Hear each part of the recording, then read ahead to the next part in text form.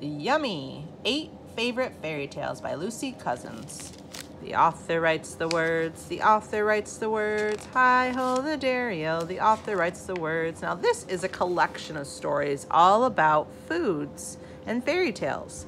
The one that I want to read with you today is The Enormous Turnip. So it says if I want to read about the enormous turnip, I have to go to page 32. So I'm looking for the number 32. Oh, there's 29, 32. The enormous turnip.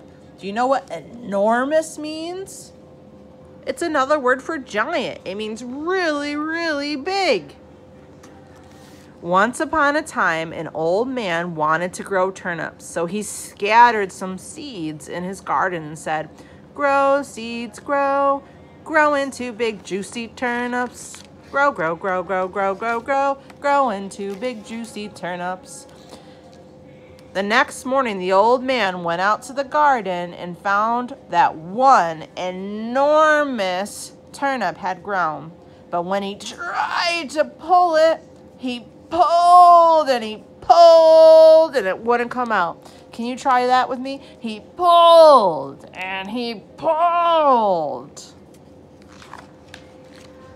The old man called for the old woman. Please help me pull up the turnip, he said. And the old woman called for the boy. Please help us pull up the turnip. And the boy called to the girl. Please help us pull up the turnip, he said. And they pulled and they pulled, but the enormous turnip just wouldn't come out. Help me pull. He pulled and he pulled and they pulled. Dog, dog, help us pull up the turnip, called the girl. And they pulled and they pulled. Cat, cat, help us pull up the turnip, called the dog. And they pulled and they pulled. Mouse, help us pull up the turnip, called the cat. And they pulled, and they pulled, and they pulled, and hooray! At last, out came the turnip, and everyone flew around. This is a lot like our giant carrot story. You see how they're all working together using teamwork?